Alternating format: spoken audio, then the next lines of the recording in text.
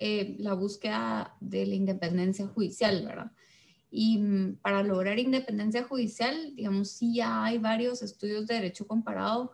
em, que muestran que es importante, digamos, ciertos elementos como el tema de la estabilidad, que yo creo que, es algo que tenemos que reflexionar si sobre si, si, si estos cinco años en la Corte de Constitucionalidad son suficientes o, o si de hecho tenemos que repensar ese plazo. Y otro elemento importante que creo yo que tiene que ver con este, con este tema del proceso de, elección de magistrados es que no se tenga que hacer al mismo tiempo, ¿verdad? Que no tengamos em, que designar a estos cinco magistrados eh, principales y a los suplentes en un mismo proceso, en un,